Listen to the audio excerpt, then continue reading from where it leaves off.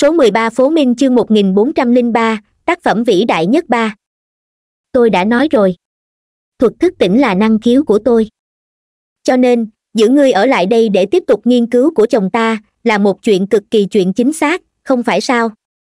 Chúng ta trước tiên có thể không nói đến vấn đề này tôi có một vấn đề cần hỏi.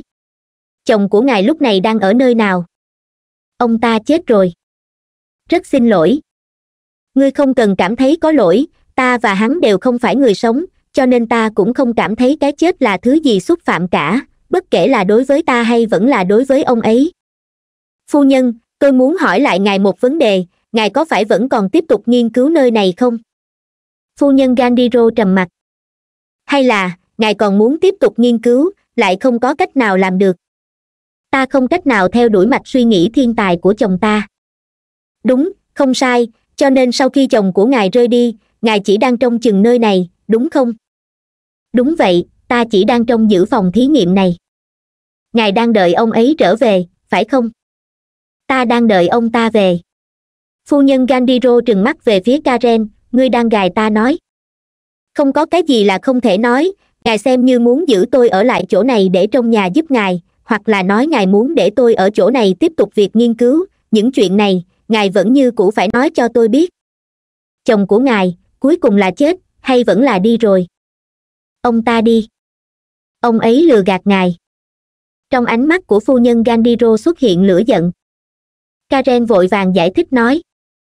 Là ngài nói với ta ngay từ đầu, ngài không thể thừa nhận phải trả giá nếu bị lừa nữa, ta ngay từ đầu cho rằng là piston công dơ, hiện tại ta bắt đầu hoài nghi, hơn một trăm năm trước, lúc piston công dơ rời đi, ông ta vẫn còn là bản thân piston công dơ sao? Karen đưa tay chỉ vào đỉnh đầu của mình, tiếp tục hỏi, chồng của ngài, có phải cũng rút một khối pha lê rồi cài vào trong đầu của piston không? Ông ấy nói với ngài, ra ngoài tìm thêm càng nhiều hậu nhân của gia tộc công dơ để tiếp tục cuộc nghiên cứu này, nhưng ông ấy lại một đi không trở lại. Mục đích mà ngài muốn rời khỏi đây, là ra ngoài tìm kiếm ông ấy, ngài muốn đi chất vấn ông ấy tại sao khi trước lại lừa gạt ngài để cho ngài phải ở lại đây một mình mà chịu đựng sự cô độc hơn trăm năm. Phu nhân gandhiro mở miệng nói, bây giờ ta cảm thấy có chút muốn giết ngươi đấy. Nếu như bây giờ ngài giết tôi, ngài chắc chắn sẽ hối hận, thẹn quá hóa giận là cảm xúc rẻ tiền và rác rưởi nhất. Karen mở rộng bước chân, đi về phía quan tài pha lê. Quan tài pha lê rất lớn, bên trong có gối, có đệm chăn còn có cùng bút ký, bốn vách ở trong còn có chằng chịt trận pháp được bố trí. Phu nhân tôi có thể nằm vào trong để cảm nhận một chút sao? Ngươi nằm vào đi, chờ đến khi ngươi nằm vào rồi, ta sẽ giúp ngươi khép nắp quan tài lên. Karen đang do dự có cần phải cởi giày ra trước hay không, lập tức lại cảm thấy giống như mang giày nằm vào thì thích hợp hơn một chút, cho nên xoay người vào trong quan tài, nằm xuống. Không gian nơi này rất lớn, hơi giống như một cái ban công, không chỉ có thể đặt một cái giường một người ngủ, còn có thể có một vị trí để đặt cái bàn đọc sách. Sau khi nằm xuống nhìn xem trận pháp được điêu khắc bốn phía vách quan tài đang không ngừng tỏa ra những luồng năng lượng thần bí, karen đã hiểu. Vù. Nắp quan tài lơ lửng, đi tới phía trên karen. Người phụ nữ này chỉ cần muốn, vào lúc này có thể hoàn toàn đóng kín karen ở bên trong. Phu nhân, ngài đã bị chồng của mình thức tỉnh sao? Karen ngồi dậy, phu nhân gandiro đứng ở ngoài rìa quan tài, lạnh lùng nhìn xem karen. Karen không vội vã bò ra mà là tiếp tục hỏi, thật ra ngài không phải là người phản giáo, chồng của ngài mới là người phản giáo, chẳng qua ngài là tiếp xúc với tư tưởng của chồng mình mà thôi. Vì cái gì ngươi lại nói như vậy? Bởi vì nếu như tôi có thể nhìn thấy chồng của ngài, tôi sẽ cực kỳ kích động, chồng của ngài nếu như nhìn thấy tôi, cũng sẽ cực kỳ kích động, còn ngài thì quá bình tĩnh. Karen bò ra từ bên trong quan tài, nắp quan tài lơ lửng phía trên, lại yên lặng rơi xuống mặt đất bên cạnh ngài đã chết từ lâu rồi, phải không? Karen chỉ chỉ vào chiếc quan tài thủy tinh này. Cái quan tài này, ngay từ đầu hẳn là được dùng để đặt thi thể của ngài, duy trì cho năng lượng linh tính trong thi thể không bị tiêu tán ra ngoài. Loại quan tài có cùng công dụng, trong nhà của tôi cũng có. Đúng vậy, ta đã chết từ lâu, ta được chồng của mình thức tỉnh. Đây chính là vì sao mà ông ấy lừa ngài, và cũng là nguyên nhân mà ngài không hận ông ấy đến vậy, thật có lỗi tôi lạc đề, vào thời điểm này cũng không thích hợp nói về phương diện tình cảm.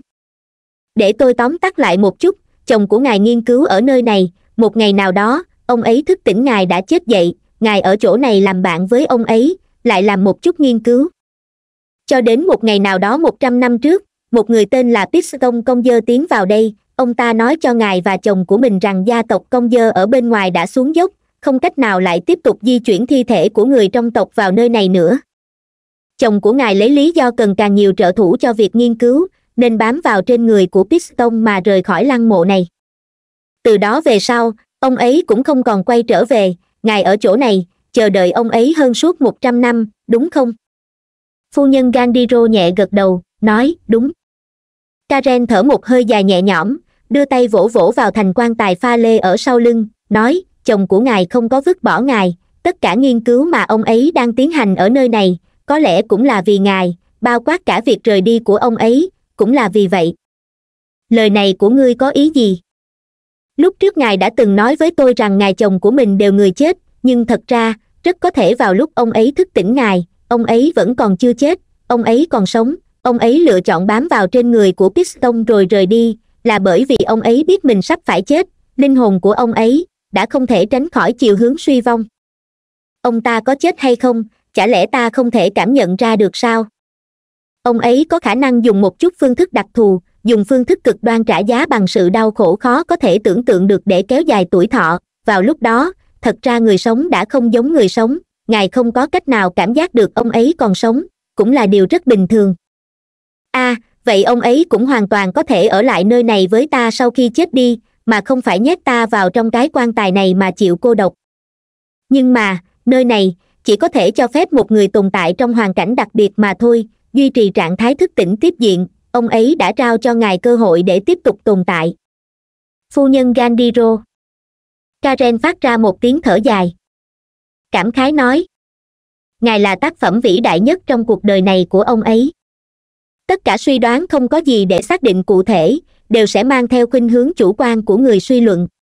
Nếu gandhiro đương nhiên còn có lựa chọn khác con đường của ông ấy cũng có thể giải thích theo những phương hướng khác, nhưng chỉ có mạch suy nghĩ này mới có thể để cho tâm trạng của phu nhân gandhiro cảm thấy thoải mái nhất. Đương nhiên, karen cảm thấy nếu tất cả mọi việc đều có thể giải thích được, suy đoán của mình có lẽ là chính xác, chỉ có điều việc thuật lại quá trình cũng không để ý đến một và những nhân tố và khả năng khác có thể xảy ra. Karen xem phu nhân gandhiro như là khách hàng của mình, bản chất của việc trị liệu đó là để làm dịu nỗi đau của họ để bọn họ cảm thấy dễ chịu và nhẹ nhõm hơn một chút. Mình cũng không phải thám tử hay là quan tòa, cũng không cần thiết phải nghiêm khắc trong việc tìm ra sự thật chân thật nhất. Phu nhân gandhiro kinh ngạc mà nhìn vào quan tài pha lê ở trước mặt, đưa tay chống lên thành quan tài, lẩm bẩm nói, ý của ngươi là, ông ấy đã triệt để chết đi rồi sao? Đây là sự bảo hộ của ông ấy dành cho ngài. Ta không muốn được bảo hộ như thế này, việc này đối với ta không khác gì là một sự tra tấn cả chồng của ngài quả thật là một thiên tài, nhưng ông ấy rốt cuộc cũng không phải là thần, ông ấy chỉ đủ khả năng để yêu ngài thôi. Ha ha, có lẽ, ta không nên để ngươi mở miệng nói chuyện. Lúc trước khi ngài giao đấu với các thuộc hạ của tôi thì đã có thể thấy rõ được rằng ngài cũng không phải là một người phản giáo trên đúng nghĩa. Ngài để cho ta nói chuyện, chẳng qua là ngài muốn cho mình một cái cớ, một lý do. Bởi vì ngài rất rõ ràng, tôi nói chuyện là muốn gì vì tính mạng của tôi và các đội viên của mình, không phải sao? Karen inmeri. Vâng phu nhân. Có câu nói ngươi nói rất đúng, nếu như chồng của ta có thể trông thấy ngươi, ông ấy chắc hẳn là sẽ cực kỳ kích động. Mặc dù thật đáng tiếc không có trông thấy ngài Gandiro đáng tôn kính, nhưng chúng tôi cũng đã thông qua phu nhân, cảm giác được lẫn nhau. Ta muốn biết, sau khi chồng của ta rời khỏi nơi này, ông ấy đã gặp phải những chuyện gì? Ông ấy trải qua thời gian đó như thế nào, so với những gì ngươi vừa nói, thật ra ta rất hy vọng ông ấy vẫn còn có thể sống, mặc dù ta cảm thấy, hy vọng này cực kỳ xa vời. Tôi sẽ giúp ngài dò xét tung tích của piston sau khi ông ta rời khỏi nơi này, mặc dù rất nhiều năm cũng đã trôi qua, rất nhiều người có thể cung cấp manh mối cũng đã không còn sống, nhưng là thần quan của trật tự thần giáo, vẫn có thể để cho bọn họ ngồi dậy nói chuyện như cũ. Đúng rồi nhưng mà ta cũng không nói ta muốn thả ngươi rời khỏi đây. Phu nhân gandhiro nhìn karen, ngươi thay ta quyết định như vậy có phải là hơi quá nóng lòng rồi hay không? Tôi cảm thấy đây chỉ là vấn đề nhỏ. Vấn đề nhỏ? So với việc tôi có bị giữ lại ở nơi này, các thuộc hạ trong tiểu đội của tôi có thể an toàn rời đi hay không? Thứ làm tôi cảm thấy hứng thú là thành quả nghiên cứu của chồng ngài ở nơi này. Tôi suy đoán chồng của ngài thể hiện ra tư tưởng phản giáo của mình là sau khi nghiên cứu sâu vào trong có phải không? Đúng thế. Điều này cũng rất bình thường, càng tiếp cận thần, thì càng không tin tưởng có thần tồn tại. Ngươi đang nói đến vị kia sao? Đúng vậy, vị giáo hoàng điên cuối cùng của ánh sáng thần giáo. Chồng của ta không có khả năng là một kẻ điên. Ta cũng không cho rằng ông ấy thật sự là người phản giáo, chỉ là tư tưởng của ông ấy quá cao vượt ra khỏi phạm trù mà người bình thường có thể giải thích, làm cho tất cả mọi người cho rằng ánh mặt trời lạnh lẽo, thì những người cho rằng ánh mặt trời ấm áp sẽ trở thành những kẻ dị đoan. Chồng của ngài chỉ là kẻ phản giáo trong thời đại này, nhưng lại là người thành kính trên con đường tín ngưỡng thật sự. Tôi cảm thấy rất vinh hạnh, có thể đi trên cùng một con đường với chồng của ngài. Việc này cực kỳ không công bằng. Phu nhân gandhiro cười nói, ta đã ở nơi này không nói chuyện với bất cứ ai trong suốt một trăm năm sau đó vừa thức giấc lại gặp phải một người biết nói chuyện như ngươi vậy. Trong nhà của tôi cũng có một vị trưởng bối đã bị giam cầm suốt một trăm năm, cô ta cũng rất ít khi giao tiếp với người khác, nhưng bây giờ cô ta vẫn hoạt bát sáng sủa và tự tin, mỗi ngày đều nghiên cứu muốn ăn muốn uống, muốn chơi cái gì. Cô ta cực kỳ sáng sủa. Đúng vậy. Karen dừng lại một chút, tiếp tục nói, tôi có một lời thỉnh cầu. Ngươi nói đi. Lúc trước tôi có suy đoán phía dưới mặt đất này sẽ có xiềng xích trật tự tràn ra ngoài. Tôi muốn để ngài cho tôi xem thử, sợi xích đặc biệt nhất kia cuối cùng là có bộ dáng gì? Sợi xích đặc biệt nhất. Đúng thế. Phu nhân gandiro nhấc tay, pha lê dưới chân xuất hiện vết rạn nứt, lập tức, một sợi xích mang theo vẻ cổ kính trồi ra ngoài. Hình thái của nó làm cho karen cảm thấy có chút không thoải mái, bởi vì nó cũng không phải xuất hiện một cách tự nhiên, mà là được rèn đúc chế tạo cái loại cảm giác không thoải mái này giống như là bị xúc phạm, bị khinh thường. Karen không biết loại tâm trạng này xuất hiện từ đâu, việc anh có thể làm lúc này đó là áp chế những tâm trạng tiêu cực này xuống. Sợi xiềng xích này cực kỳ thô to, khi karen muốn đưa tay chạm đến, lại chợt phát hiện bên trong khe hở của sợi xích này, lại có một vài vết màu tím. Trên một sợi xích của karen, cũng nhiễm phải màu tím, đó là khi va chạm với ngai vàng trật tự mà trộn được, cũng chỉ có kia một karen muốn đưa tay chạm đến những vệt màu tím này nhưng khi tay của mình vừa đưa qua màu tím lại biến mất giống như là đang cố ý trốn tránh mình. Xiềng xích thu hồi chui vào trong mặt đất. Karen phủi tay quay đầu nhìn về phía phu nhân Gandiro, ý còn chưa xong. Ngươi thật sự là biết cách ăn đấy phu nhân Gandiro mở miệng nói. Ừm thời đại của bà ta có lẽ cũng chưa có cách gọi dành cho câu nói bỏ lửng nhưng có thể hiểu sơ nghĩa là đang nói mình có hiểu biết về công việc phu nhân, tôi sẽ giúp ngài rời khỏi nơi này. Ý của ngươi là, ngươi sẽ tự nguyện đâm cái mảnh pha lê này vào trong đầu của ngươi rồi giúp ta ra ngoài sao? Không, sẽ không. A, ngươi vẫn là sợ chết. Karen gật đầu, chấp nhận. Mặc dù anh biết rõ, nếu như phu nhân Gandiro muốn xâm lấn vào cơ thể của mình, thì cũng là một chuyện rất đơn giản. Chỉ có điều vị phu nhân này mặc dù ở ngoài miệng vẫn luôn nói những lời kiểu như vậy nhưng đến bây giờ cũng không có hành động gì thật sự. Trên người của bà ấy, karen nhìn thấy cái bóng của pan trước đó, karen vẫn luôn không tin tưởng có người có thể bị giam giữ lâu như vậy nhưng vẫn có thể giữ được bản tính lúc đầu của mình. Bây giờ thì anh tin rồi. Tôi cũng đã nghiên cứu về đề tài giống như của chồng ngài, ta có thể trợ giúp ngài, để cơ thể của ngài rời khỏi trạng thái này. Nếu chỉ là cơ thể mà thôi thì cũng không có ý nghĩa tôi có thể giúp ngài duy loại trạng thái lúc này, nhưng tôi còn cần một chút thời gian nữa, cho nên ngài sẽ phải chờ ở nơi này thêm một khoảng thời gian, chờ đến lúc có thể làm đến được một bước kia, tôi sẽ sắp xếp để ngài rời khỏi nơi này. Ta dựa vào cái gì mà phải tin ngươi? Tôi không biết, nhưng tôi cảm thấy ngài sẽ đồng ý với phương án này. Nói xong, karen mở tay ra, một sợi xiềng xích trật tự bay ra từ trong lòng bàn tay, ở phía trên còn có một vài vết màu tím đang di chuyển so với sợi xích mà phu nhân gandhiro triệu hồi ra lúc nãy, sợi xích của karen cũng tự nhiên và tràn đầy sức sống hơn. Phu nhân gandhiro rất là khiếp sợ mà nhìn karen, bây giờ thừa nhận, ngươi quả thật rất giống với chồng của ta. Cho nên tôi có thể thực hiện được những lời mà mình đã hứa hẹn với ngài, đương nhiên, về sau nếu như tôi có thể tiếp tục tự mình tiến vào hoặc là phái người tiến vào nơi này mà nói, tôi chắc hẳn có thể rút ngắn tiến trình này. Nơi này là thành quả nghiên cứu của chồng ta tôi đương nhiên biết, nhưng tôi không hy vọng những nghiên cứu này sẽ vĩnh viễn bị chôn vùi, phu nhân ngài hẳn cũng thấy vậy. Thức tỉnh ở nơi này có sự hạn chế rất lớn, một công trình tốn kém chi phí đến như vậy mà chỉ có thể để phu nhân gandhiro duy trì trạng thái thức tỉnh ở nơi này, cơ thể của bà ta thật sự không thể nào ra khỏi đây. Nếu dựa theo lời của bà ta nói mà bỏ ký ức vào trong một khối pha lê rồi mang ra ngoài, việc này rất nguy hiểm, bởi vì bà ta đã chết, không còn linh hồn còn có một việc nữa, karen thậm chí cảm thấy trận pháp pha lê bên dưới mặt đất cũng là tính toán để sử dụng cho riêng phu nhân gandiro.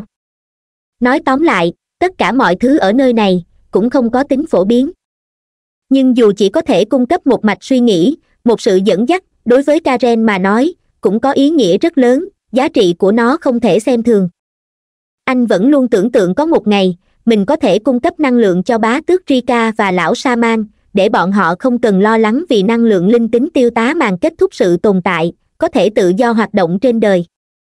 Ta có thể tin tưởng ngươi sao? Hai tay của phu nhân gandhiro chống lên thành quan tài, để lộ dáng người đầy đặn của mình ra ngoài. Ánh mắt của karen tránh đi, mở miệng nói, lúc này ngài còn có thể lựa chọn.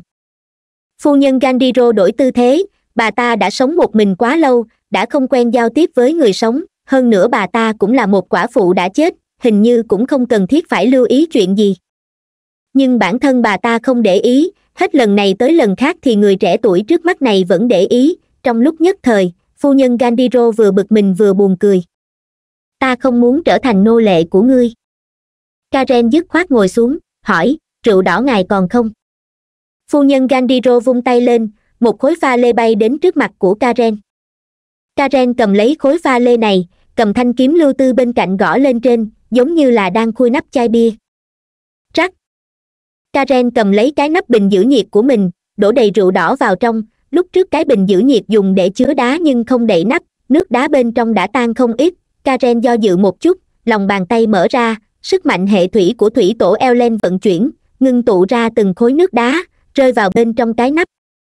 Sức mạnh song thuộc tính của thủy tổ Elen rất phù hợp cho việc ra ngoài thám hiểm, vừa có thể nướng đồ ăn vừa có thể uống nước đá chỉ có điều thì lời này cũng không thể nói với pan nếu không con mèo kia chắc chắn sẽ tức giận đến phát điên.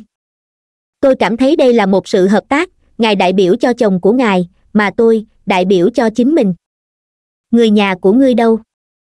Sự thật là như vậy, bởi vì một chút tình huống đặc thù, người nhà của tôi không có cách nào cung cấp sự trợ giúp gì cho tôi cả. Đương nhiên, trước khi tôi rời đi, người nhà của tôi nhất là ông nội, đã chuẩn bị sẵn cho tôi rất nhiều thứ bây giờ, bên phía tôi tôi là người nói chuyện, ngài cũng nhìn thấy những thành viên trong đội lúc nãy của tôi, trong số bọn họ đều là những người có tài năng rất cao hoặc là có bối cảnh gia đình rất cao, đây chính là tập thể nhỏ mà tôi xây dựng, tôi còn có một tập thể nhỏ khác.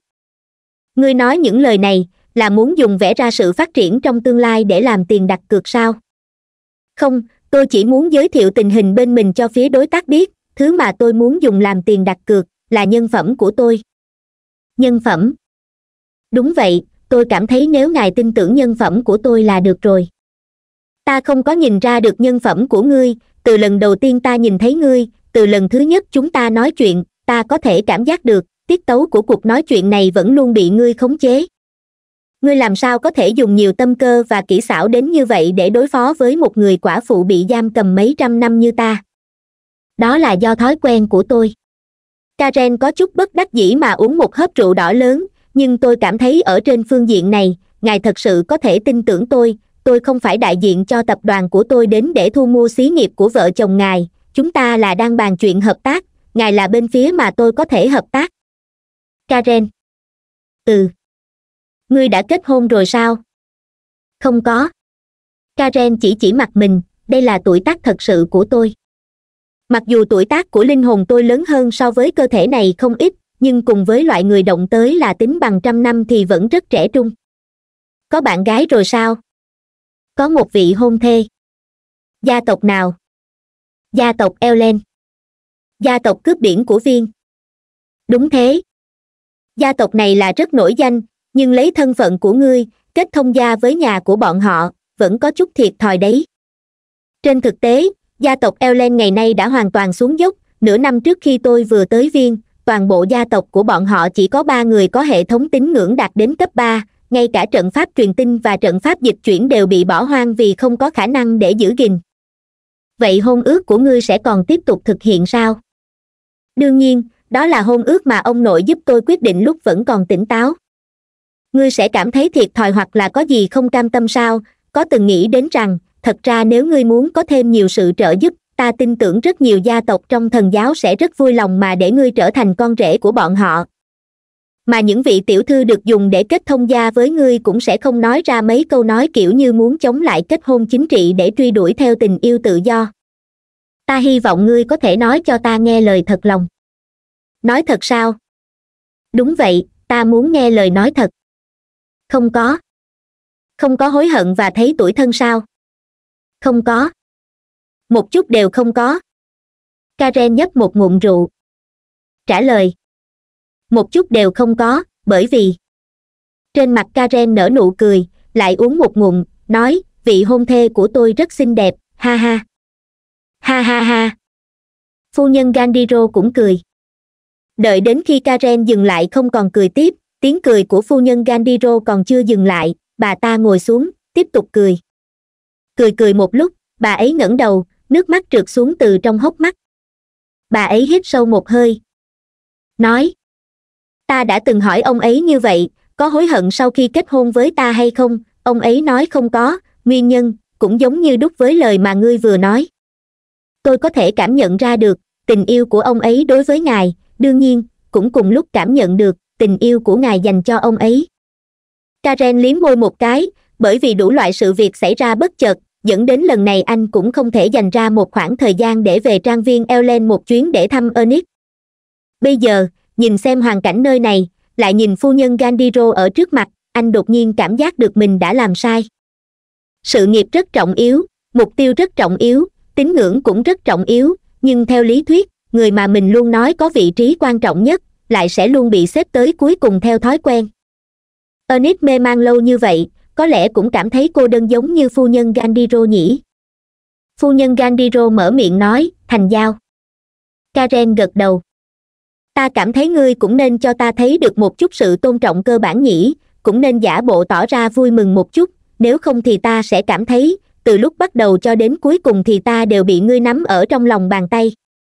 Thật có lỗi, phu nhân, không phải là tôi không tôn trọng ngài, mà là tôi cũng không nghĩ mình sẽ được lợi ích gì từ chỗ của ngài cả chúng ta là đồng đội có mục tiêu cùng tiến về phía trước. Từ lúc ngài đồng ý với chuyện này, cũng có nghĩa rằng trên người của tôi lại có thêm một phần trách nhiệm. Phu nhân gandiro phủi tay, lập tức, toàn bộ người xem, bắt đầu vỗ tay. Karen, ngươi không đi làm một diễn giả là một điều đáng tiếc đấy. Thật ra tôi quen với việc độc thoại nội tâm hơn. Bây giờ ngươi hãy đi tập hợp với các đội viên của mình đi, dựa theo lời ngươi nói, trước tiên thì giải quyết người câu cá ở bên ngoài mặt khác, ngươi không nên vứt khối pha lê trong tay đi. Lần sau nếu người muốn vào đây hoặc là muốn sắp xếp cho thuộc hạ của mình đi vào thì cầm nó theo sẽ tiết kiệm được thời gian. Cảm ơn ngài, phu nhân. Karen đứng người lên, sau đó cũng không nhúc nhích. Từng ngươi còn có yêu cầu gì nữa? Là như thế này, thưa phu nhân, tôi vốn đến đây là để trộm mộ. Ta biết, ta đã sớm đoán được nếu tôi đã đến đây để trộm mộ thì cũng đã nói rõ rằng tiểu đội của tôi cũng không được dư giả trên phương diện tiền bạc. Ừm, sau đó thì sao? Là đối tác với nhau, ngài thấy có nên rót thêm một chút tài chính để đầu tư cho chúng tôi hay không? Ngươi có cảm thấy ta là một người rất ngu ngốc hay không? Phu nhân gandiro chỉ vào mặt mình hỏi. Tôi cảm thấy một vài thứ, chỉ có lưu thông, mới có thể cho thấy giá trị thật sự của nó. Quan trọng nhất chính là tôi cần mang về thứ gì đó để cho các thuộc hạ trong đội của tôi cảm thấy chuyến đi này không phí công, nếu không thì một vị đội trưởng luôn chỉ huy tiểu đội của mình đi làm những chuyện không công, rất khó để thành lập uy tín. Phu nhân gandiro chỉ chỉ vào một cái tế đàn nhỏ ở bên cạnh, phía trên có trưng bày mười viên đá ma pháp màu sắc thuần khiết với kích cỡ tương đối lớn. Ngươi chọn hai cái đi, những thứ này là vật liệu dư ra trong lúc bố trí trận pháp trước đây. Cảm ơn phu nhân. Karen cầm ba lô của mình đi đến trước để toàn bộ đá ma pháp vào trong ba lô của mình. Một viên đá ma pháp này giá trên thị trường khoảng chừng ba mươi nghìn phiếu trật tự, để lại hai viên ở nhà, còn lại thì đem ra chợ đen bán. Như vậy không chỉ đủ cho chi phí của chuyến đi lần này mà còn kiếm lời rất lớn. Phu nhân, tôi đi đây, chắc là sẽ không quá lâu, chờ đến khi mọi điều kiện chín mùi, tôi sẽ đón ngài đi ra. Ừm. Karen quay người rời đi, vừa đi ra khỏi âm thanh của phu nhân gandiro vang lên từ phía sau. Ai, lần trước, ta cũng nhìn bóng lưng của chồng ta rời đi như vậy. Ai, bà ta lại làm trò. Karen dừng bước lại, quay đầu lại, nhìn về phía phu nhân gandiro đang dựa vào quan tài pha lê mà uống rượu đỏ, mở miệng nói. Phu nhân, nếu như ngài nguyện ý tiếp nhận sự nhàm chán của việc nằm trong quan tài mà không được làm gì cả thì bây giờ tôi có thể mang ngài ra ngoài theo, tuy nhiên phải tính cả việc cái quan tài pha lê này năng lượng linh tính mà nó tạm phong tỏa trong người ngài sẽ dần xói mòn. Phu nhân gandiro lập tức nói, a không, chuyện này đúng là tra tấn trong sự tra tấn. Nhưng tôi cũng không đành lòng để lại phu nhân ngài một mình nơi đây, lại tiếp tục chờ đợi không biết bao lâu nữa. Thấy karen nghiêm túc, phu nhân gandiro vội nói, ta tin tưởng ngươi có thể hoàn thành tiến trình của mình để đưa ta ra ngoài, vừa lúc ta mở mấy buổi hòa nhạc tạm biệt ở nơi này gandiro phu nhân vung cánh tay một cái, tất cả người xem đều tập thể đứng dậy, nhấc hai tay đặt lên bả vai người bên cạnh, trong miệng mỗi người thật sự lại đang phát ra âm thanh, đây thật sự là buổi hòa nhạc của người chết. Hô hô. Hô hô hô. Ô. Hô hô hô hô hô ô. Phu nhân gandiro nhấc tay, cất cao giọng với karen. Gặp lại sau người bạn thân mến của ta ta sẽ nở rộ trong rừng pha lê để chờ người tới đón alfred đi ở trước nhất, những người khác theo ở phía sau, dưới sự dẫn đầu của alfred, tất cả mọi người đều đi rất chậm. Nếu như có thể lựa, mọi người tình nguyện chạy lao ra ngoài giống như đang bị ngọn lửa rượt theo sau mông, như vậy thì không có thời gian để suy nghĩ và cảm nhận. Cho nên, tốc độ bước đi chậm chạp này, ngược lại trở thành một sự tra tấn. Người thứ nhất không chịu được chính là richard. Cậu ta tránh khỏi memphis đang đỡ, đặt mông ngồi dưới đất, hai tay vỗ xuống mặt đất giống như là một người phụ nữ đanh đá đang ngồi dãy nảy trên mặt đất, liên tục hô. Đây rốt cuộc là làm sao, rốt cuộc là làm sao thế? Tất cả mọi người ngừng lại, có người nhìn về phía richard, có người thì cúi đầu. Sau khi richard hô liên tục thật nhiều âm thanh, hỏi, cho nên, chúng ta thật sự cứ rời đi như thế sao? Không ai trả lời cậu ta. Richard tiếp tục vung vẩy hai tay hỏi, này, tôi biết chúng ta đánh không lại người phụ nữ kia nhưng như vậy cũng không cần thiết phải bỏ lại đội trưởng rồi cả bọn trốn đi như thế này chứ. Memphis mở miệng nhắc nhở, đây là mệnh lệnh của đội trưởng. Ta biết, lỗ tai ta không biết, nhưng ta vẫn không cách nào chấp nhận được, tiểu đội của chúng ta như thế này, thật giống như một chuyện cười. Alfred nhìn richard, rất bình tĩnh nói, chúng ta chỉ cần tuân theo mệnh lệnh của thiếu gia. Này mọi người, có nguyện ý quay trở về đánh lại sao? Cho dù là đánh không lại kết cục xấu nhất không phải cũng là sau khi chết đi thì bị biến thành người xem thôi sao? Các người thật sự tin vào ba điều kiện của người phụ nữ kia à? Nghĩ như thế nào thì tôi đều cảm thấy là bà ta đưa ra để lừa gạt chúng ta. Philomen đi đến trước mặt richard, nâng tay lên. Bốp! Richard bị tát một bạt tay. Ngươi chỉ đang trút ra những cảm xúc rẻ tiền và vô nghĩa của mình. Richard trừng mắt nhìn philomen hít sâu một hơi, nói tôi chỉ không muốn để cho chính mình cảm thấy hối hận, ta có thể cảm giác được, nếu như karen xảy ra chuyện gì thì coi như tôi an toàn rời khỏi nơi này, vậy thì quãng đời sau này của tôi cũng sẽ chìm trong sự đau khổ. Memphis đứng ở bên cạnh nghe được lời này của richard, ánh mắt khẽ biến. Tôi tin tưởng thiếu gia của mình. Alfred mỉm cười nói, chúng ta chỉ cần tuân theo mệnh lệnh của ngài ấy là đủ. Philomen nhìn về phía alfred, nói, nếu như ra ngoài sớm một chút thì chúng ta có thể kêu gọi tiếp viện. Alfred hồi đáp, nhưng thiếu gia đã dặn dò tôi, dẫn mọi người đi thật chậm. Ta không thể nào hiểu được. Philomen nhìn xem alfred, ý của hắn ta là để chúng ta đi từ từ, đợi hắn ra ngoài sao? Nói không chừng thì phải đấy. Alfred dùng một giọng điều vô cùng tùy ý mà đáp lại. A à. philomen cười một tiếng, tựa như đang thể hiện sự khinh thường với tình hình đang xảy ra trước mắt mình nhưng cô ta vẫn nói bổ sung, được rồi, từ từ đi. Ta biết trong lòng mọi người đều cảm thấy như bị hành hạ, nhưng xin mọi người hãy tin tưởng thiếu gia, tin tưởng đội trưởng của mình. Thật ra alfred mới là người lo lắng và suy nghĩ nhiều nhất, nhưng anh ta vẫn như cũ mà chấp hành mệnh lệnh của karen bất kể ra sao. Muri thì mở miệng nói, vậy thì nghỉ ngơi đi, đừng đi nữa. Alfred nhẹ gật đầu, đương nhiên, như vậy cũng được. Tất cả mọi người ngồi xuống philomen là người cuối cùng vẫn còn đứng đó. Cô ta rất không thích kiểu không khí như thế này, nhưng cuối cùng cũng ngồi xuống. Tri chắc cúi đầu, xoa nắng gương mặt của mình. Memphis nhích lại gần, an ủi, ta biết ngươi rất quan tâm đội trưởng, nhưng bây giờ phải khống chế tâm trạng của mình cho tốt chính là biểu hiện của một người trưởng thành. Tri chắc tức giận trả về một câu, thật có lỗi, do di truyền. Memphis.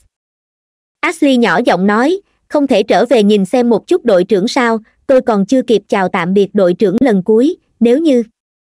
Nếu như. Tôi sẽ cảm thấy rất đáng tiếc. Blanc gật đầu nói, đúng là vậy. Max khoanh hai tay, cảm khái nói, nhưng thực lực của chúng ta không đủ, thực lực của người phụ nữ kia không chỉ rất mạnh, chưa kể nơi này còn là sân nhà của bà ta bà ta chỉ cần tiện tay là có thể dễ dàng bóp chết tất cả chúng ta. Muri vuốt vuốt lồng ngực của mình cậu ta là người bị đánh thảm nhất.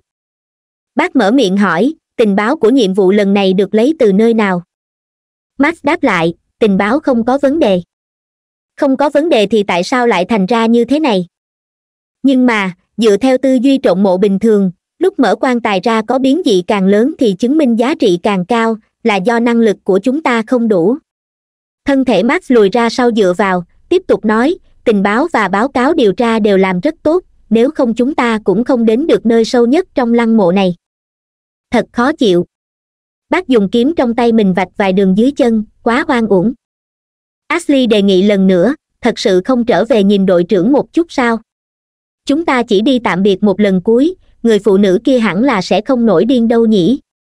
Lúc gần đi đội trưởng quá hung dữ, tôi cũng không dám dừng lại nói chuyện. Ventura vẫn luôn im lặng mở miệng nói, đội trưởng không có việc gì cô có lời gì muốn nói thì có thể giữ lại chờ đội trưởng trở về rồi nói với ngài ấy. Ventura, bây giờ chúng ta không cần mấy lời an ủi không có ý nghĩa này, chúng ta đều rất kiên cường. Ventura nhìn thoáng qua ashley, nói, tôi không phải đang an ủi cô, tôi chỉ là đang trần thuật lại sự thật trong mắt nhìn của mình, đội trưởng sẽ không có chuyện gì, ở phía trước, chúng ta có thể sẽ gặp nguy hiểm. Nguy hiểm? Ashley nghi ngờ hỏi. Từng ventura nói một cách đương nhiên, cho nên đội trưởng mới bảo chúng ta đi từ từ. Philomen mở miệng nói, cho dù có đi từ từ như thế nào cũng sẽ phải đến nơi, cho nên đi từ từ lại có nghĩa lý gì đâu. Ventura tiếp tục nói một cách rất đơn nhiên, từ từ đi, để cho đội trưởng có thời gian để ngài ấy giải quyết sự kiện này chứ sao nữa. Giải quyết như thế nào? Hắn ta bây giờ còn là con tin. Ventura lắc đầu, nói tôi không biết đội trưởng sẽ giải quyết chuyện này như thế nào, nhưng đội trưởng chắc chắn có thể giải quyết. Philomen bị phương thức nói chuyện này của ventura làm khó chịu, thật ra cũng không phải cô ta có tâm tư khác, mà là cực kỳ phản cảm với bầu không khí bi thảm và những cảm xúc vô nghĩa của tiểu đội vào lúc này. Cô ta nói thẳng, vậy dứt khoát để đội trưởng giải quyết tất cả mọi chuyện đi, để người phụ nữ kia thả đội trưởng ra mà không giữ lại đây nếu tiện thì bảo luôn người phụ nữ kia đưa cho đội trưởng mấy món chiếm lợi phẩm để cho chuyến đi lần này viên mãn luôn nhỉ? Philomen vừa mới dứt lời, chính cô cũng ngây ngẩn cả người, quay đầu nhìn về phía đằng sau. Memphis cũng quay đầu nhìn sang. Những người khác ngay từ đầu không kịp phản ứng, một lát sau, nghe được tiếng bước chân từ đằng sau, đều nhìn về phía sau lưng. Từ trong hành lang tối tăm, có một bóng người đang đi tới, chờ tới khi đến gần mới nhìn ra được người tới là đội trưởng của họ. Muri lập tức hô, chuẩn bị chiến đấu. Nói xong, chính cậu ta là người thứ nhất xông lên, che sẵn khiên tròn, giơ đoạn đao lên. Bác philomen tất cả đều lên trước, đi theo phòng ngự. Vốn nên lúc này cũng tới đi phòng ngự ventura, thì nhếch môi cười hô, đội trưởng. Karen nhìn muri, nói thẳng, tấm chắn của cậu là do ta tẩy rửa cho đấy. Muri sửng sốt một chút, lập tức nói thật sự là ngài sao đội trưởng? Ừm. Karen nhẹ gật đầu, ta cùng với bà ta ngồi tán gẫu một hồi, bà ta thả ta trở về, còn đưa cho ta một vài viên đá ma pháp, giá trị không ít phiếu điểm. Philomen. Đội trưởng. Ashley trực tiếp lao tới, ông lấy eo của karen. Blanc cũng chạy tới, nhưng cô thận trọng hơn so với ashley. Ashley lập tức buông tay ra, vừa lau nước mắt vừa nói vừa nãy tôi còn đang đau buồn vì chưa tạm biệt đội trưởng đấy. Ha ha. Karen cười cười, giang hai cánh tay, cũng cùng bờ lăng nhẹ nhàng ôm một cái. Sau đó đánh lên ngực của bác và Muri một cái, lại sờ lên đầu ventura. Karen. Richard mang theo nước mắt nước mũi cũng lao về phía karen karen nghiêng người tránh khỏi, để richard trực tiếp ôm vào trên tấm khiên tròn của muri. A anh không thể phân biệt đối xử như vậy chứ karen những nước mắt nước mũi này đều là tôi giữ lại dành cho anh đấy. Có lòng đến thế là được rồi, phần còn lại cậu lo mà lau sạch đi. Nói xong, karen đảo mắt nhìn tất cả mọi người, nói, chuyện lần này, ta cần nhắc nhở lại mọi người về việc giữ bí mật, vị phu nhân này, về sau sẽ trở thành đối tác của chúng ta. Nói cách khác, chúng ta có thể xem lăng mộ này thành căn cứ bí mật của chúng ta.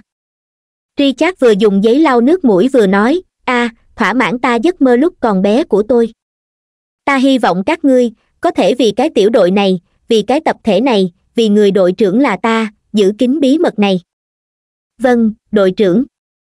Vâng đội trưởng. Tốt, bây giờ chúng ta có thể dùng tốc độ bình thường rời đi nơi này. Karen đưa ba lô của mình cho ventura, đá ma pháp ở bên trong thật ra rất nặng, mặc dù cơ thể của ventura rất nhỏ, nhưng một người đeo hai cái ba lô cũng không thành vấn đề gì.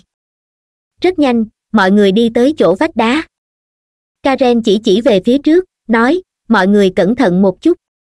Muri đang nghe truyện trên tv audio cv hỏi, cho nên, lúc đầu nơi này sẽ xảy ra chuyện bất trắc sao? Ừm, đúng vậy, lúc đầu trong số các ngươi có lẽ sẽ có một nửa người sẽ chết ở chỗ này, những người còn sót lại đều sẽ nổi điên. Mọi người lập tức trở nên cẩn thận, trong lúc hóa thành khói đen bay qua vực sâu, karen cúi đầu nhìn xuống dưới, cái gì cũng đều không nhìn thấy nhưng lại cảm giác được một luồng khí ấm hơn so với lúc trước. Giống như là có một con hung thú ở phía bên dưới, vừa mới bị tỉnh lại, bây giờ lại đang ngủ thiếp đi. Lăng mộ này là do ngài gandhiro và người của gia tộc công dơ cùng nhau cải tạo, những thứ có thể giải thích được bên trong thì do người của gia tộc công dơ phụ trách, mà những việc không thể giải thích vậy tất nhiên là do ngài gandhiro. Bên trong lăng mộ này vẫn còn ẩn giấu rất nhiều bí mật. Chờ đến khi rời khỏi đây nhất định phải điều tra một chút về cái họ Gandiro này, nhưng mà mức độ khó khăn có lẽ sẽ rất lớn, bởi vì rất nhiều tin tức liên quan đến ông ta cũng rất có thể đã bị trật tự che giấu. Tất cả thần giáo đều cực kỳ mẫn cảm đối với những người phản giáo, bởi vì trên một mức độ nhất định mà nói, giáo hoàng điên cũng thuộc về người phản giáo, kết quả ông ta đứng ở trên đỉnh của tháp ánh sáng mà hô to, trực tiếp gõ hồi chuông tan cuối cùng cho ánh sáng thần giáo. Tuy vậy siniali có thể giúp ích gì đối với chuyện này không nhỉ? Nếu như cô ta có thể tìm ra tài liệu liên quan đến người tên Gandiro này, vậy thì vị cộng sự nguyên lý thần giáo này của mình thật sự là quá đáng giá. À không, là lần nằm viện này của đội trưởng quá đáng giá. Acelot nằm ở dưới đáy biển, cơ thể to lớn của nó cùng hòa thành một thể cùng với cảnh vật xung quanh, giống như là một rặng núi ngầm bên dưới đáy biển. Đây là một phương thức nghỉ ngơi của nó, có năng lực giống như một loại rồng đổi màu. Lúc này, lần lượt từng bóng người kéo xuống từ phía trên mặt biển bọn họ tụ tập ở chỗ rãnh nứt, có vài chục người, trên người cũng chỉ mặc quần áo bình thường. Chỉ có điều lúc bọn họ xuống đến nơi này, cũng không để ý đến rặng núi bên cạnh một ngày trước còn không có xuất hiện ở đây. Rất nhanh, những người này đều tiến vào bên trong rãnh nứt. Tiểu thư tiểu thư, điện hạ karen gặp nguy hiểm, tiểu thư. Acelot tiến hành kêu gọi ở trong bụng của mình. Nhưng mà pan lúc này đang nằm ở trên tế đàn của trận pháp truyền tin mà nằm ngáy o o cô thật sự đã quá mệt mỏi. Sau khi truyền lại tin tức từ con chó ngu cho karen, lập tức đã ngủ mê man đến tận bây giờ. Lúc này muốn đánh thức cô cũng có chút thiếu thực tế. Bên trong bụng của Acelip xuất hiện hình chiếu của một người thanh niên. Trên trên người đều là vảy cá, chính là hình chiếu tinh thần của acelot trước hết nó nhìn thấy tiểu thư đang ngủ say, khóe miệng nổi lên nụ cười, sau đó đi đến bên cạnh tiểu thư, xoay người, nhặt lên một quyển trục. Đây là quyển trục dùng để cầu cứu dựa theo sự sắp xếp trước đây, khi phát hiện có người tới, tiểu thư phải phụ trách sử dụng quyển trục này ra ngoài. Nếu bây giờ tiểu thư đang ngủ thiếp đi, vậy thì nhiệm vụ này chắc chắn phải do nó phụ trách. Tôi đang đợi ngài triệu hồi thư điện hạ karen. Một đám người xuyên qua chỗ dòng nước giao thoa, đi tới phía trong của lăng mộ. Hô! Đây là lần đầu tiên ta biết nước biển vậy mà mang theo mùi hôi thối nồng nặc đế như vậy một người phụ nữ vừa nắm lấy quần áo của mình vừa phàn nàn. Vẫn ổn mà, không phải là mùi tanh. Ampan nếu như ngươi còn đùa kiểu này với ta ta sẽ cắt cái kia của ngươi ra rồi nhét vào trong miệng của ngươi, để ngươi nếm thử mùi vị của bản thân mình đấy. Ampan nimen chúng ta tới nơi này là để nghe các ngươi cãi nhau sao? Thưa ngài sên xin ngài thứ tội. Xin ngài thứ tội, thưa ngài người đàn ông trung niên mang một chiếc mặt nạ bằng đồng ở trên mặt hướng ánh mắt về phía tòa thành xa xa, sau đó hắn mở tay ra, bên trong lòng bàn tay có một quả cầu màu vàng, một luồng ánh sáng hiện lên, quả cầu màu vàng tách ra thành từng con bướm nhỏ màu vàng. Những con bướm này phe phẩy cánh, bay về phía mỗi một người ở đây. Các vị, viên là địa bàn của trật tự, chúng ta ở chỗ này cho dù có xảy ra việc gì ngoài ý muốn thì cũng không thể cho phép để lại một bộ thi thể hoàn chỉnh, nuốt nó vào đi sau khi các ngươi chết, nó sẽ gặm ăn hết thi thể của các ngươi. Tất cả mọi người bỏ con bướm này vào miệng rồi nuốt xuống. Nimen mở miệng hỏi, thưa ngài, chúng ta còn phải tiếp tục chờ đợi ở chỗ này sao? Thế nhưng mà tôi lo lắng mồi câu của chúng ta đã chết ở bên trong. Lại chờ đợi thêm một ngày, ta tin tưởng sự chiếu cố của nữ thần mặt trăng đối với chúng ta. Đương nhiên, nữ thần cũng sẽ chiếu cố cho mồi câu của chúng ta. Vâng thưa ngài sơn đưa tay sờ sờ lên phía ngoài của chiếc mặt nạ bằng đồng trên mặt mình, nói, một ngày sau, nếu như mồi câu còn chưa đi ra ngoài, vậy thì chúng ta sẽ đi vào. Nhưng bây giờ, tất cả mọi người, bố trí lưới đánh cá cho tốt, chuẩn bị sẵn sàng kéo lưới. Nguyện ánh trăng, bảo vệ chúng ta. Mọi người cùng tiếng nói, ánh trăng, ở bên cạnh chúng ta. Tất cả những người khác cũng bắt đầu bố trí, chờ đến khi mọi thứ bố trí xong xuôi, lập tức che giấu đi bản thân ở bên cạnh sên thì vẫn là Amban và nimen đang đứng. Nguyệt nữ thần giáo cũng có cùng tổ chức, có chức năng tương tự như đòn roi kỷ luật của trật tự thần giáo, gọi là vệ đội nguyệt thần. Biên chế là một đội trưởng hai người đội phó và thêm mười tám đội viên, một tiểu đội là hai mươi 21 người, ở chỗ này có hai đội.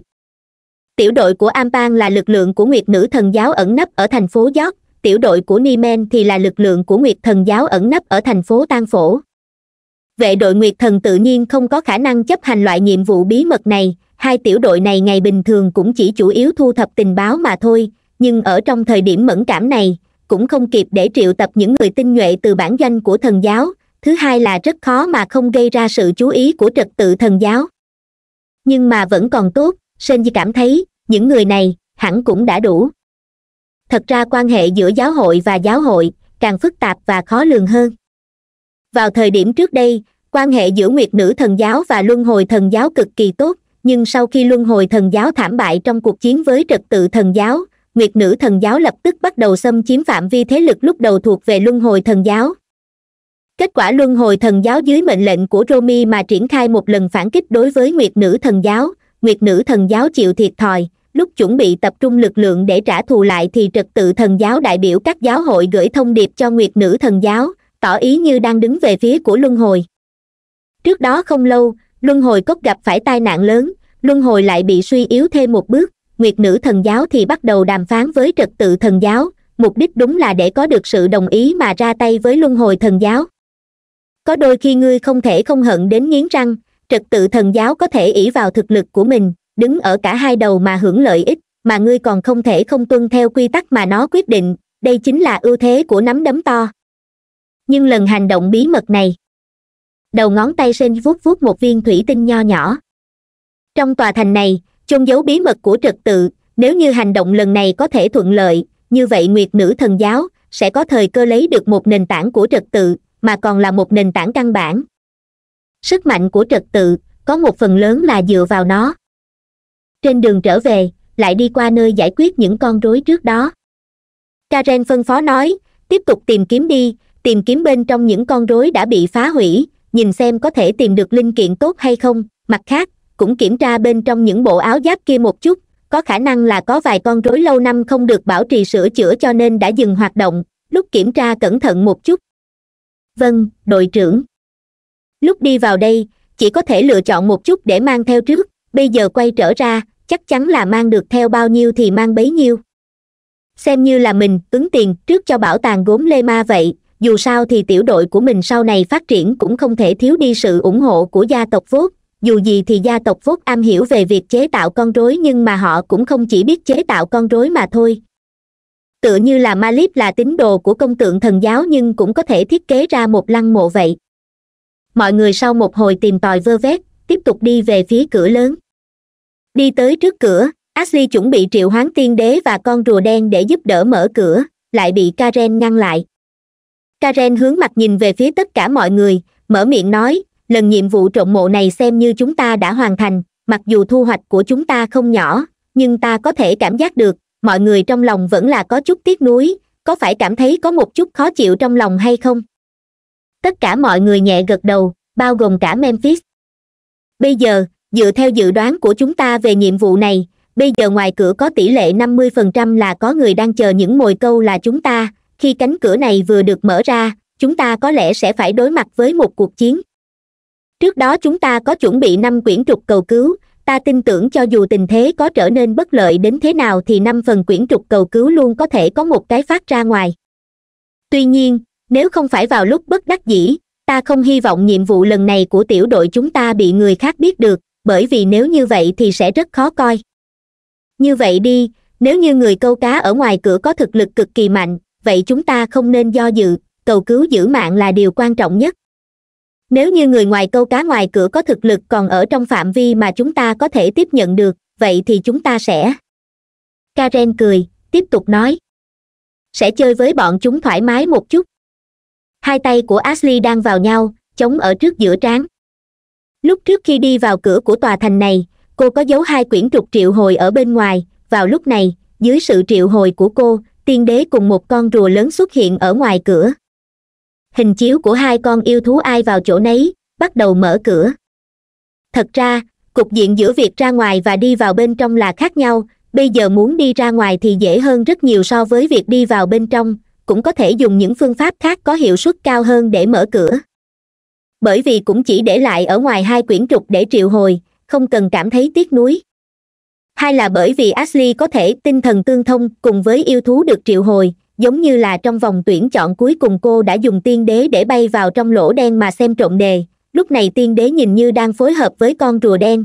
Trên thực tế lúc này nó đang lơ lửng trên không trung, trong mắt thì nhanh chóng, liếc ngang liếc dọc. Thăm dò tình hình bên ngoài. Tri chắc nhỏ giọng nói, nếu như bên ngoài có người mai phục mà nói, làm như vậy cũng không phải là chúng ta đang thông báo rằng mình sắp ra để bọn chúng chuẩn bị sẵn sàng trước sau.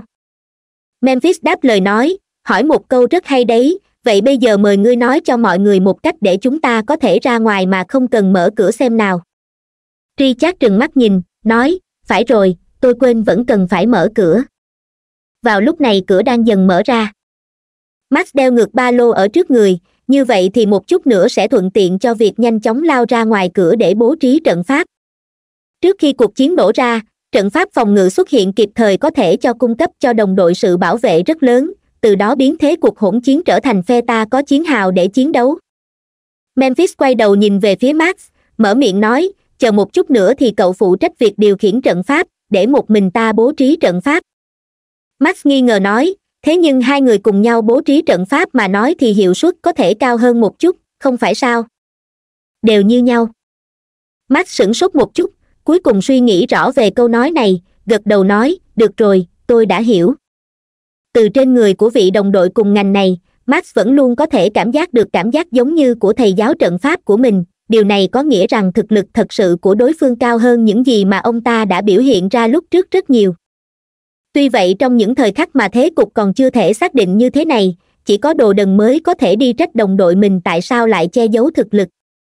Ventura và mori đứng ở hàng thứ nhất hai người ở phía sau theo thứ tự là bác và philomen tiếp theo sau là blanc và alfred. Hàng cuối là max, memphis và richard. Không cần phải tỏ vẻ hồi hộp như vậy, ít nhất thì trên mặt cũng chớ để lộ ra sự hồi hộp. Karen nói được nửa câu, bỗng nhiên nghĩ đến mấy cái mặt nạ để ở trong ba lô của mình. Đây là món quà mà đội trưởng để fanny chuẩn bị cho mình trước khi tham gia vòng tuyển chọn cuối cùng. Vốn dĩ mình cũng đã quên nó đi nhưng lúc trước khi bỏ những viên đá ma pháp vào lại phát hiện bọn chúng được đặt ở ngăn kép trong ba lô, tất nhiên là áp phờ với tính tình tỉ mỉ của mình đã xem nó thành truyền thống của tiểu đội mà đặt nó vào trong. Nếu ở trong ba lô của mình có, như vậy thì trong ba lô của những người khác nhất định cũng sẽ có. Đeo mặt nạ lên, che lại biểu cảm, sau khi ra ngoài đừng nghĩ đến việc sẽ đánh nhau, cố gắng hành động tự nhiên một chút, nếu như thực sự có người chuẩn bị đánh lén chúng ta, vậy chúng ta cũng có thể đánh lén ngược lại bọn chúng vâng đội trưởng. Tất cả mọi người lấy mặt nạ ra từ trong ba lô rồi đeo lên mặt. Rất nhanh, cùng với cửa lớn được mở ra, một đám người mang theo mặt nạ, đầu lâu trắng, bước ra bên ngoài. Memphis và max mỗi người đốt ngọn nến trong tay lên, dẫn mọi người đi xuyên qua khu quảng trường lúc trước, nếu có việc gì ngoài ý muốn có thể xảy ra mà nói thì đó là sau khi đi qua khu vực này. Karen duỗi tay ra về phía ashley ashley đưa tay của mình đến năm ngón tay của hai người nắm chặt nhau. Nắm tay với đội trưởng, trái tim của ashley bỗng nhiên nhanh chóng nhảy bịch bịch bịch lên. Karen nhắc nhở, bình tĩnh lại cảm xúc của cô. Vâng đội trưởng ashley hít sâu một hơi, bắt đầu yên lặng triệu hồi sói bảo môn bác. Mặc dù cha mẹ của ashley chuẩn bị cho con gái của mình một đống lớn hình xăm yêu thú để gom cho đủ số lượng, nhưng bên trong có một con, là có thực lực thật sự, đó chính là môn bác chỉ có điều việc triệu hồi con yêu thú này không chỉ cần phải trả một chi phí cực lớn, mà tính tình của nó còn rất tệ, kèm theo tỷ lệ sẽ có thể phản bội. Bởi vì cha của ashley, tự mình cầm dao làm giải phẫu triệt sản cho môn bác. Cho nên trong một khoảng thời gian rất dài trước đây, karen vẫn luôn biết trong tay ashley có một con yêu thú rất mạnh, nhưng vẫn luôn không để cô triệu hồi nó ra. Ashley cảm giác được mình năng lượng trong người mình đang nhanh chóng bị hình xăm trên tay kia hấp thu, nếu là trước đây lúc này cô cũng đã đau đớn mà ngồi xổm xuống trên đất mà gắn gượng, nhưng bây giờ, cô lại cảm thấy rất nhẹ nhõm, bởi vì năng lượng của đội trưởng đang nhanh chóng tràn vào giúp cô giảm bớt gần tám phần năng lượng cần tiêu hao. Việc này khiến cho cái giá phải trả khi triệu hồi môn bác nhỏ đến mức gần bằng tiên đế. Rất nhanh, một con yêu thú khí thế hung bạo ngẩng đầu, nó tựa như đã nhận ra ashley, sát ý đang hội tụ về phía cô. Nó cũng không hẳn là vừa mới xuất hiện lại đi thích chủ của mình phần lớn là cảm giác trêu đùa và trả thù, nếu như không có điều kiện tiên quyết là đã đàm phán xong thì cha mẹ ashley cũng không dám cho nó để lại dấu ấn tinh thần trên tay của cô. Nhưng cái loại suy nghĩ phản nghịch này, karen rất không thích. Nhưng mà không đợi karen thể hiện ý chí của mình ra, một vật khác đáp lại sớm hơn cả karen. Xì. Thiên mị ngẩng đầu, phát ra lời cảnh cáo đối với môn bác. Ý thức của môn bác đột nhiên suy sụp một chút mọi người bây giờ cũng là thể ý thức, rất khó phân rõ ràng trên mặt thực lực cụ thể là ai mạnh, ai yếu, nhưng chỉ dựa vào khí thế linh hồn và sự ngang ngược tàn bạo, thiên mị thật đúng là không sợ ai. Ashley đã nhận ra một khí tức lạ lẫm xuất hiện ở trong người của đội trưởng, giống như là thể linh hồn, nhưng lúc đội trưởng ở trong cánh cổng luân hồi cũng không có ký kết khế ước linh hồn mà. Dù vậy thì đây chỉ là nghi ngờ nhỏ, trong cơ thể đội trưởng có cái thứ gì kỳ quái thì cô cũng sẽ chẳng cảm thấy quá bất ngờ khục. Muri đi trước dẫn đầu phát ra một tiếng ho khan, tiếng ho này cho thấy, có biến. Biểu cảm của mọi người bị che giấu phía dưới mặt nạ, vì đó mà rung một cái, đó là tượng trưng cho sự hưng phấn. Khóe miệng karen cũng lộ ý cười, trong lúc lái xe neo từng truyền thụ lại kinh nghiệm dẫn dắt tiểu đội cho anh, hắn nói là mình đã dùng phương thức nuôi dưỡng chó săn để dẫn dắt tiểu đội này, cho nên ngươi không thể thường xuyên cung cấp thức ăn nước uống cho nó, còn phải dắt nó đi dạo để nó có cơ hội có thể tiêu hao hết thể lực dư thừa trong người. Trước mắt, chính là thời cơ để mọi người tiêu hao thể lực. Đợi đến khi đám người tiếp tục đi ra ngoài thêm một khoảng, mặt đất bốn phía xung quanh bỗng nhiên có bốn vầng trăng tròn to lớn xuất hiện. Hơn hai mươi bóng người đi ra từ trong những vầng trăng tròn, trên người bọn họ đều được bao trùm bởi một lớp ánh sáng từ mặt trăng, giống như là một lớp áo giáp đã được ban phước lành. Sau một khắc bốn vầng trăng to lớn cùng lúc lao về phía tiểu đội của karen. Ở trong quá trình này, bốn vầng trăng tròn lúc đầu trông như hình ảnh ba chiều lại bắt đầu dẹp xuống. Nhìn từ đằng xa thì giống như là bốn lưỡi dao màu vàng đang vụt cắt về phía bọn họ. Đây là một cách mai phục rất cao tay. Đầu tiên thì các vầng trăng tròn sẽ hỗ trợ trong việc che giấu hơi thở của những người này. Sau khi bọn họ xuất hiện thì sẽ giúp bọn họ cường hóa bản thân. Cuối cùng là biến thành đợt tấn công đầu tiên mà bay ra ngoài nếu thật sự không có bất cứ sự đề phòng nào trước, chỉ với bốn vầng trăng tròn này, cũng đủ để cho đội hình của kẻ bị mai phục bị chia cắt thành những mảnh thi thể nhỏ. Bốn người ở hàng phía trước, lập tức tiến hành thay đổi vị trí, mỗi người một hướng, chủ động xông về phía những vầng trăng tròn. Tấm khiên tròn trong tay muri phóng ra ánh sáng màu đen, chỉ nghe một tiếng bịch vầng trăng tròn bị cậu ta cản lại, thanh đoạn đao trong tay còn lại vung một cái vầng trăng bị thay đổi phương hướng mà chui xuống dưới đất, nổ tung ventura hóa khổng lồ sau đó trực tiếp dùng hai tay đánh vào trên vần trăng, cả người bị đẩy lùi về phía sau một đoạn, phát ra một tiếng gầm nhẹ, quăng vần trăng về phía của bác.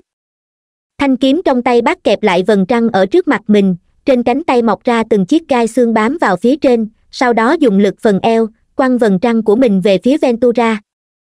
Hai vần trăng tròn cùng nhau va chạm vào một chỗ, nổ tung. Philomen thì xuất hiện ở bên cạnh vần trăng, bàn tay nhẹ nhàng vỗ lên trên vầng trăng chuyển hướng xoay, sau đó cô lùi hẳn người về phía sau đồng thời dùng chân đạp nhẹ nó một cái vầng trăng chuyển hướng lao ngược trở về hướng cũ. Phốt phốt phốt ba tên thần quan của nguyệt nữ thần giáo trên người còn đang được bảo vệ bởi ánh trăng ngay lập tức bị chặt đứt làm đôi, bọn họ vốn đang vọt về phía trước, sau khi cơ thể bị chặt đứng mà nửa người dưới sau khi bị tách rời khỏi nửa người trên tiếp tục theo quán tính mà tiếp tục chạy về phía trước một đoạn sau khi philomen hạ xuống cổ tay khẽ đảo một cái, một con dao găm xuất hiện ở trong tay của cô, cả người như muốn lao về phía trước.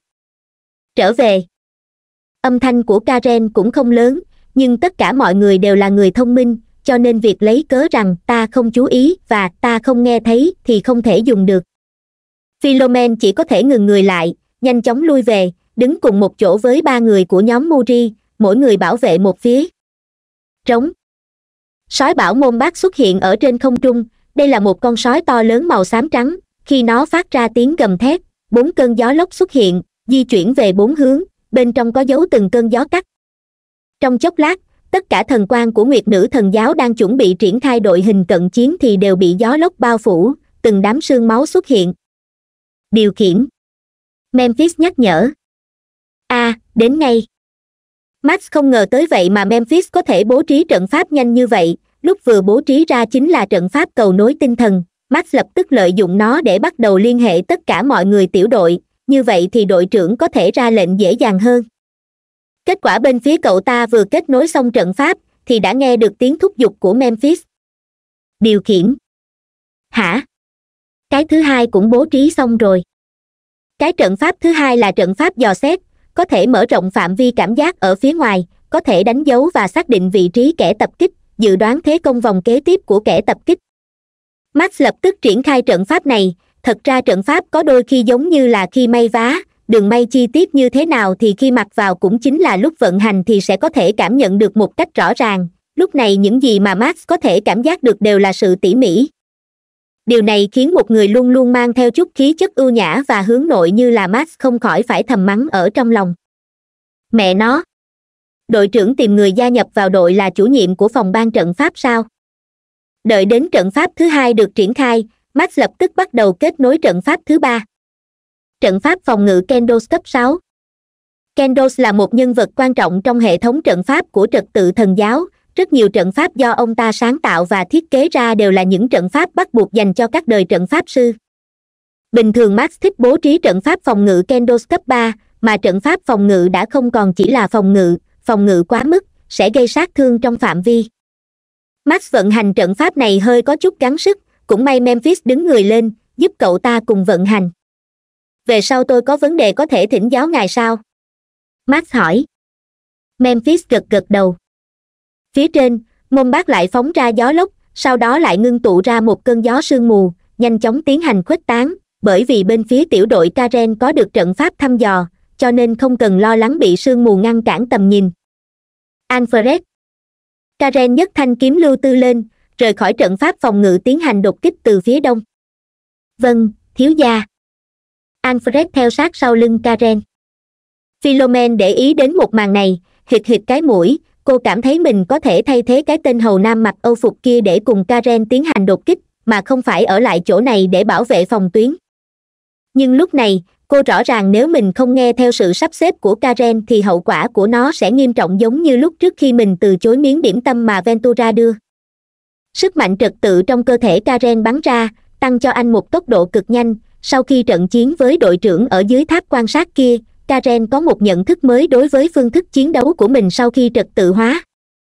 Lúc này, khi karen xuất hiện ở trước mặt của một thần quan nguyệt nữ thần giáo, ánh mắt mị ma của alfred bắt đầu khởi động, làm gián đoạn tư duy của đối phương, đợi đến khi đối phương bắt đầu tỉnh táo lại, lưỡi kiếm lưu tư đã chặt đứt cổ của hắn. Đây là một loại phương thức giết người vô cùng khô khan, đối phương vốn là đang ở trong màn sương mù, còn gặp phải tấn công tinh thần, lại bị tốc độ và sức mạnh bùng nổ hạ sát nhưng karen chưa từng cảm thấy phương thức lấy mạng kẻ địch này là nhàm chán. Thiên mị chủ động bay ra, mỗi khi karen giết chết một người, nó ngay lập tức nuốt mất linh hồn đối phương và hút một nguồn máu tươi thuần khiết nhất, quả thực thoải mái đến nỗi linh hồn nó đều đang run rẩy. Linh hồn và máu tươi ở thế giới bên ngoài, tươi ngon hơn thế giới trong cổng rất nhiều. Sau khi giết liên tục bảy người, karen cảm thấy kẻ địch ở hướng này đã bị xử lý gần xong, tiếp theo, có thể vòng qua một hướng khác. Ông đúng lúc này, một vết nứt xuất hiện ở bên cạnh karen. Nimen đi ra từ bên trong, nện gậy phép trong tay về phía karen. Alfred vỗ tay phát ra tiếng, sóng tấn công tinh thần lao về phía nimen, nhưng gậy phép trong tay của nimen tạo thành một kết giới, chặn lại sóng tinh thần này. Đây là một cuộc đánh lén, trong một cuộc đánh lén, đối phương lựa chọn thời cơ xuất hiện cũng quá tốt.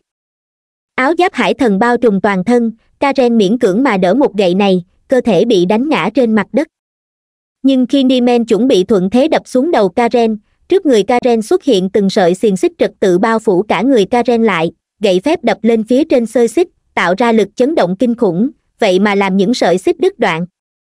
Nhưng đợi đến khi phát gậy tiếp theo đập xuống, sau lưng karen đã xuất hiện một đôi cánh màu đen, cả người nhanh chóng tránh khỏi một đòn này sau đó gượng xoay người lại trên không trung, thanh kiếm lưu tư quét đến. Ầm. Trước người của niemen xuất hiện một cái bóng mờ triệt tiêu mất một nhát chém này của karen. Alfred xuất hiện ở sau lưng niemen tay trái che một con mắt, mở miệng nói. Ngươi buồn ngủ. Ánh mắt của niemen bắt đầu mê man, cơ thể theo đó cũng rung lên. Karen bổ kiếm thứ hai xuống, nhưng trên người cô ta lại không biết là có món thánh khí nào tự kích hoạt, tạo thành một lớp bảo vệ, chặn lại nhát chém thứ hai của karen. Đối với điều này karen cũng không có quá nhiều thất vọng có đôi khi đánh trận và đánh nhau cũng rất tương tự, một bên thì so sánh sức mạnh quốc gia, một bên thì so sánh sức mạnh bản thân. Alfred chuẩn bị nói câu nói thứ hai, nhưng trước ngực lại xuất hiện một tia sáng màu vàng, gậy phép của niemen bắn ra một tia sáng từ phía sau, xuyên thủng cơ thể alfred. Nhưng mà, alfred bị xuyên thủng kia bắt đầu méo mó rồi biến mất, alfred thật sự xuất hiện ở một bên khác, khoanh hai tay. Mê muội trên mặt niemen lại xuất hiện vẻ đau khổ một lần nữa. Nhưng cô ta lập tức bóp nát một việc bảo thạch ở trên gậy phép, năng lượng thanh tẩy kinh khủng càng quét qua xung quanh, cô ta dùng nó để chặn đường với ý đồ lùi về khe hở đằng sau. Thiên mị phát ra một tiếng gào thét, chủ động lao đen, chịu nỗi đau bị thiêu đốt mà mở ra một con đường cho karen.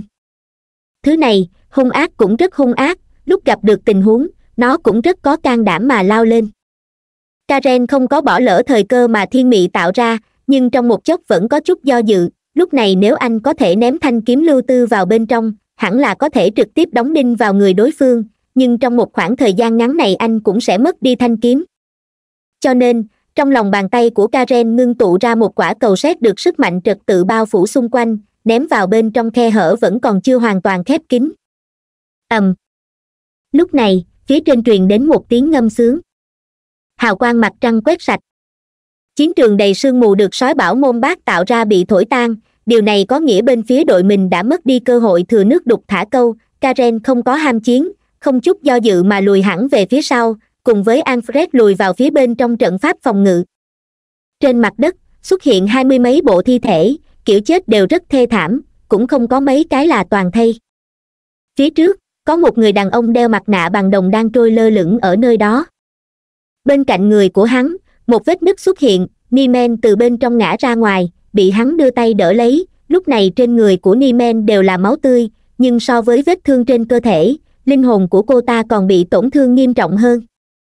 Karen đã sớm học được thuật pháp sấm sét trật tự, tác dụng ban đầu của nó vốn rất vô nghĩa, nhưng ở thế giới trong cổng, sau khi karen được ngai vàng trật tự dẫn dắt, tiến hành cải tiến thuật pháp này nếu như nói trong tình huống bình thường thì sức mạnh của quả cầu sét này là một, như vậy karen đã nén nó thành mười.